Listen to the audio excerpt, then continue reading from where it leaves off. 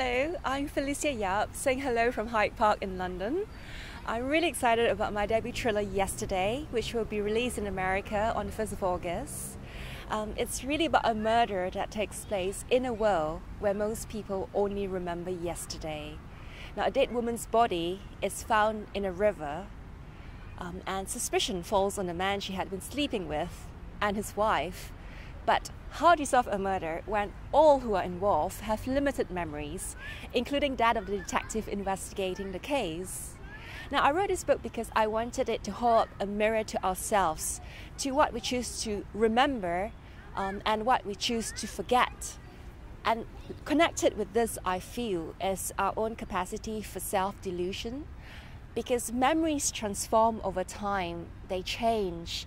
And studies suggest that 80% of what we remember isn't actually what happened.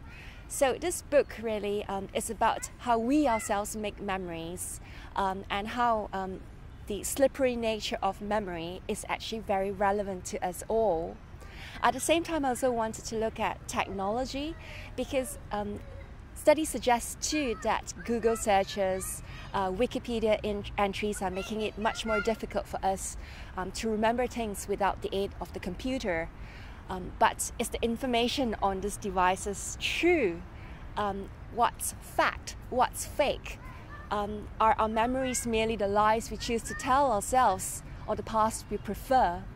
Now, I've just realized that, you know, from writing about a memory, a book about memory is that people just remember the last thing an author says. So I'll finish with this. Yesterday is a story about the lies we choose to tell ourselves, masquerading as memories. Because if we can only remember yesterday, suppressed secrets and old wounds take on chilling new meaning, especially if it involves murder. I really hope that yesterday is a thriller you won't forget.